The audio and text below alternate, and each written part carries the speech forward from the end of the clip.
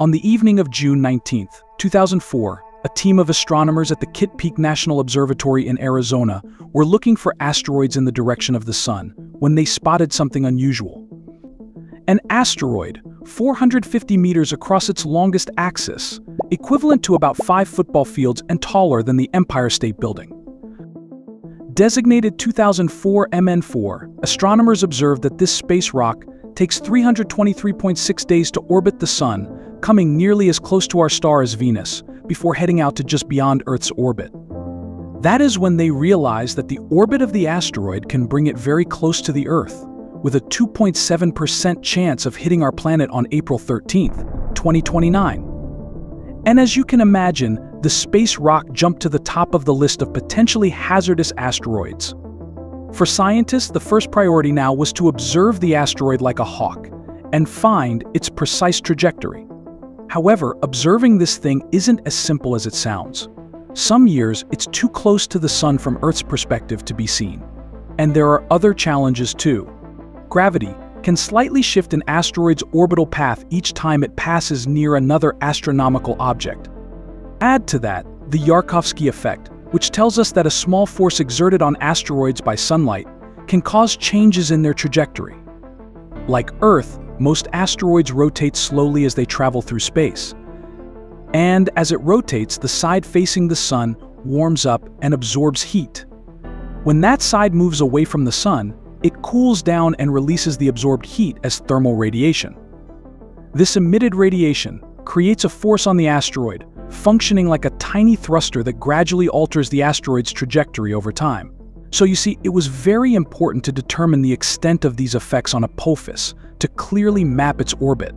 That's why astronomers needed to capture extensive images of the asteroid, and a window opened up in 2013. Astronomers will be keeping their eyes on the sky tonight as a large asteroid is set to fly by Earth. The asteroid Apophis will be passing by at a distance of about 14 million kilometers. In March 2013, the world watched the asteroid as it made a close pass to our planet, though it wasn't as close as it would be in 2029. The Goldstone Deep Space Communications Complex tracked the asteroid for about two weeks around its closest approach, with researchers at the Green Bank Telescope coordinating observations to enhance data clarity. Based on these observations, NASA announced that Earth is safe from an impact with this asteroid for at least the next 100 years, ruling out the previously slight risk in 2068. But what about 2029 and 2036? Well, earlier observations had already eliminated potential impacts in 2029 and 2036. As such, the asteroid has been removed, from the Sentry Impact Risk Table, setting the stage for significant scientific opportunities when it arrives close to the Earth in 2029. And that brings us to the actual must-see event on Friday, April 13th, 2029. As of now, Apophis is in a part of the sky that is not observable from Earth, and it will remain so until we see it again in 2029.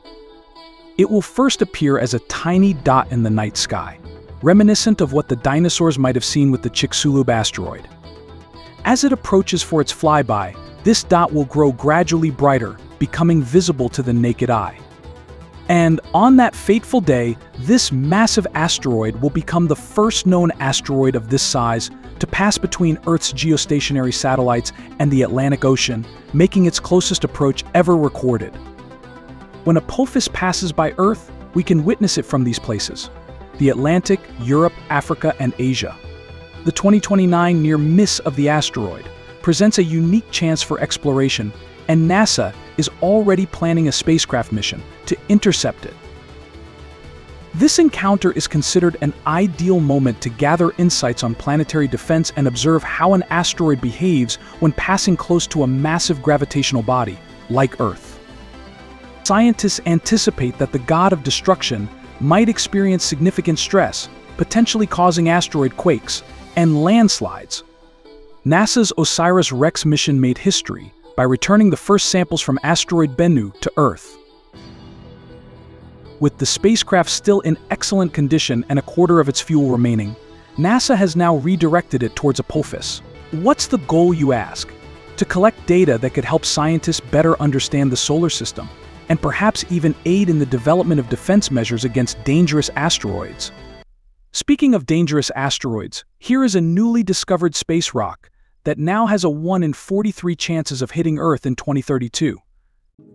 On December 25, 2024, under the watchful gaze of the Atlas Asteroid Impact Early Warning System, a new cosmic wanderer made its grand entrance. Asteroid 2024, YR4, streaked into view, its path captured by telescopes stationed across Hawaii, Chile, and South Africa.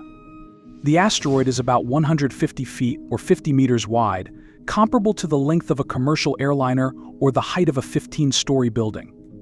When first detected, it had a 1.3% chance of impacting Earth, equivalent to a 1 in 83 probability of collision in 2032. However, further observations on December 29th increased the estimated odds to 1.6%, equivalent to 1 in 67 probability of a collision.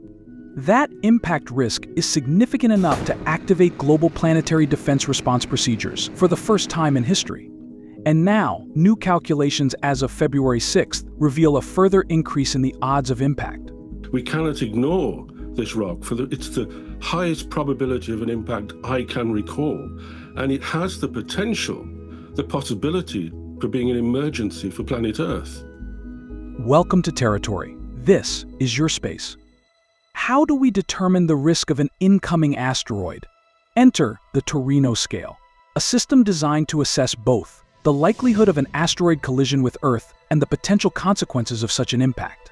2024 YR4 has rocketed to the top of official impact risk lists on both sides of the Atlantic and has the rare rating of 3 on the Torino scale that ranges from a no-risk 0 to a civilization-ending 10.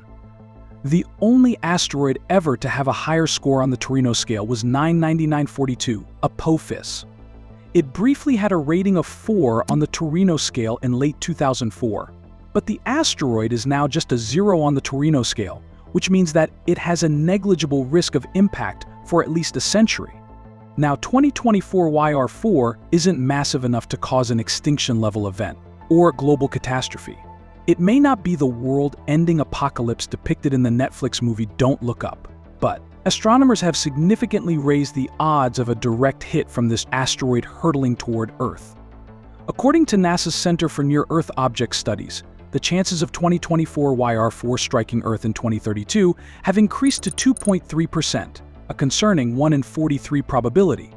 However, as more observations come in, this information is subject to change.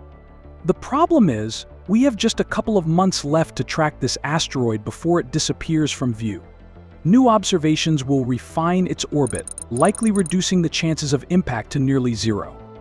But, if the probability remains in the same ballpark, we'll be facing a serious situation because the asteroid won't return into view until 2028, leaving us only a few years to make a critical decision and take action. We only have another couple of months to observe this rock before it goes out of sight. NASA has impacted other asteroids to see the effect on their orbit and their trajectory, and that has worked to a limited extent. But it might not work for this object. It may well be. We might even have to consider the severe measures of sending up a nuclear weapon to the surface of this asteroid in order to deflect it further. With the current data astronomers have on the asteroid, they estimate not just one possibility for impact in 2032, but seven possibilities between 2032 and 2079, with the first possible impact date being December 22, 2032. Again, as more observations come in, this information is subject to change. But what if asteroid 2024 YR4 were to strike Earth? Calculations suggest that if it were to strike Earth, asteroid 2024 YR4 wouldn't end life on Earth as we know it, as it's not large enough to do that. But it could be locally destructive, depending on where it hits. The impact could be comparable to the 1908 Tunguska event, where a powerful explosion, estimated between 3 and 50 megatons, occurred over Siberia, flattening approximately 80 million trees across 830 square miles of forest. Scientists, however, believe that the observation of the asteroid is still in its early days and that more telescopic data will most likely lead to a reassignment of its Torino scale value to level zero. In fact, Most newly listed asteroids on the Torino scale initially show a rising impact probability as observations refine their paths until the risk drops to zero. The same is likely for asteroid 2024 YR4. At the moment, the asteroid is exceedingly faint at magnitude 23, and it is expected to continue to dim throughout February until it leaves our view. So let's ask the big question. What if future observations confirm that asteroid 2024 YR4 is on a collision course with Earth on December 22, 2032? First, the potential impact is still years away. Plus, we've already tested our ability to deflect an asteroid.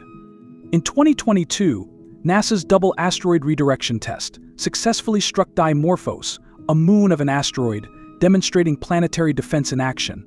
Notably, Dimorphos was much larger than 2024 YR4, measuring 525 feet across. So if 2024 YR4 does pose a threat, we're at least somewhat prepared. What do you guys think? Drop in your comments to let me know.